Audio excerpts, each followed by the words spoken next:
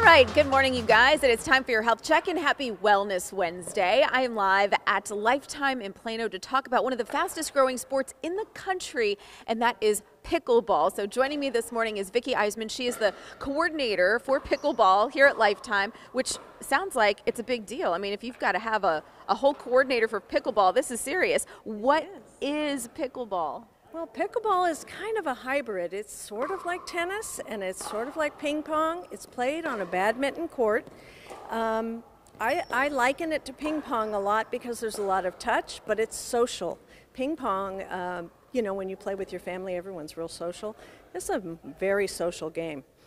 And okay, this is low impact. We've talked about how it's easy on the joints, so it's attracting all ages, and millennials are especially interested in it. We uh, shared that the average age of people who are playing this is 43. So that's good news to me. I like that.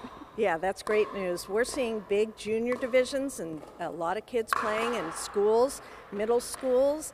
And so it's great that Lifetime is bringing this in. We have a large amount of juniors here at Plano.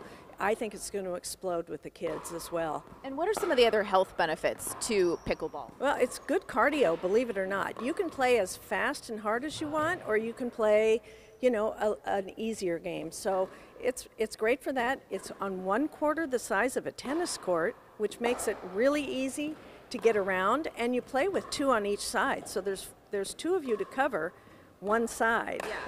And I'm just thinking agility, you know, as I'm watching these guys behind us move back and forth. Oh, yeah, they're amazing. Um, when you get to the higher levels, it's an incredibly athletic sport. You should see the pros play, they're amazing. And the fact, you know, circling back to what I said earlier, you, you, have to have a pickleball coordinator. This is gaining a lot of popularity, and you guys have a specific program that you're really amping up. We are, and when Lifetime does something, they do it first class. So we're amping it up. I, there are other clubs that have it out on their outdoor tennis courts. Some of them, most of them, are in the gyms, um, which is nice because when it's raining, it's great.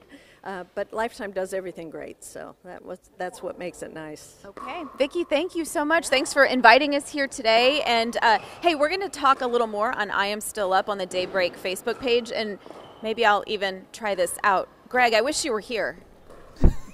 Hey, and we, we had pickleball here out on the uh, plaza a couple of years ago, I guess we did. So I, I, have tried it, and it's actually a lot of fun. Olympic sport, pickleball, coming. It's, no, okay. I, no, no support here in the studio for that. All right.